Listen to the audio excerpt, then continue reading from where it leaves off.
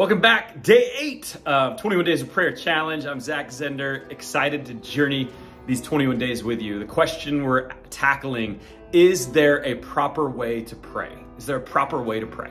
So, in this 21 days, if you haven't already, go to prayingchallenge.com, download the free guide there that'll have companion Bible readings, the challenge, the prayer prompt for the day, and so much more. And invite some friends, subscribe to the YouTube channel. Let's keep doing this and give these days over to the Lord. So, I love what Richard Foster says about this. Is there a proper way to pray? He, he says that in the same way that a small child cannot draw a bad picture, so a child of God cannot offer a bad prayer, right? Those kids' pictures, like they're so beautiful, even when they're like not that great. We still hang them on our fridges, and, and I, that that offers such a simple answer to this question.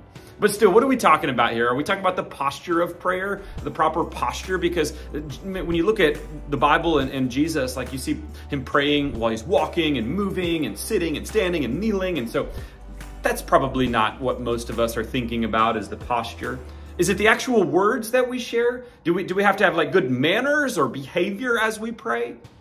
I think words and behaviors are, are important, but my hunch is that while posture and words are, are, are significant, most of us are really talking mostly about an attitude of prayer or, or what's our heart like when it comes to prayer. And I think for this, there's no better option than to look at Jesus and how he prayed. So let's go to a couple places where Jesus prayed. First, it's Matthew chapter 6, verses 5 through 8.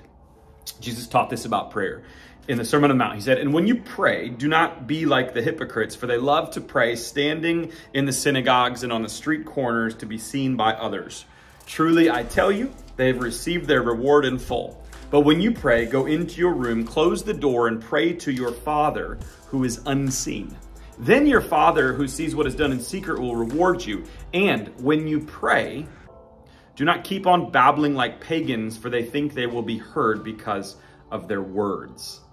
So Jesus tells us that. And then he gives us another example in Luke chapter 18, verses 9 through 14, when he talks about a, a parable uh, story illustrating this truth of two people that went to the temple to pray. And there's two different postures, two different attitudes. And so look at this. It says, To some who were confident of their own righteousness and looked down on everyone else, Jesus told this parable. Two men went up to the temple to pray, one a Pharisee and the other a tax collector. And these two were at odds with one another often in the Bible. The Pharisee stood by himself and prayed, God, I thank you that I'm not like other people. is a horrible prayer, by the way. Robbers, evildoers, adulterers, or even like this tax collector. I fast twice a week and give a tenth of all I get. So even if he's doing good actions, like his heart's not right. We can tell that from his prayer. But then verse 13, it says, The tax collector stood at a distance. He wouldn't even look up to heaven, but beat his breast and said, God, have mercy on me, a sinner. And Jesus says, I tell you that this man, rather than the other, went home justified before God. For all those who exalt themselves will be humbled, and those who humble themselves will be exalted. And so the proper way to pray, posture words, they're important, simply with a humble attitude. God cares more about the thoughts in our hearts than the words on our lips.